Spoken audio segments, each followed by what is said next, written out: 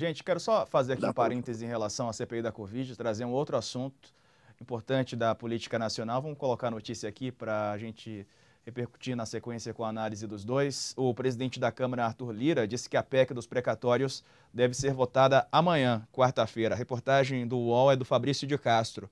Ele conta aqui que o presidente da Câmara dos Deputados, Arthur Lira, anunciou hoje que a PEC ah, dos precatórios está pronta para ir à votação amanhã no plenário e afirmou também que teve reunido com líderes da base e que até o fim do dia deve se encontrar com líderes da oposição para viabilizar a votação dessa matéria. Se aprovada, ela abrirá espaço para o lançamento do Auxílio Brasil de 400 reais, esse auxílio provisório até o fim do ano que vem, ano eleitoral. A matéria estava na pauta de votação do plenário nessa terça-feira, hoje. Disse o seguinte aqui, Arthur Lira.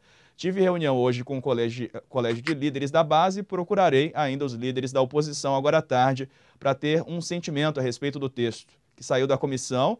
É, é, ele disse isso em entrevista, a, a entrevista coletiva. Muito provavelmente isso estará pronto para ir para o plenário amanhã, impreterivelmente, depois de uma rodada de conversas do relator com alguns partidos que precisam de alguns esclarecimentos. A PEC dos precatórios passou pela Comissão Especial da Câmara na semana passada e abre espaço para o espaço fiscal, né, para pelo menos 83 bilhões de reais para o governo em 2022, furando o teto de gasto e viabiliza teto de gastos e viabiliza o lançamento do Auxílio Brasil de 400 reais.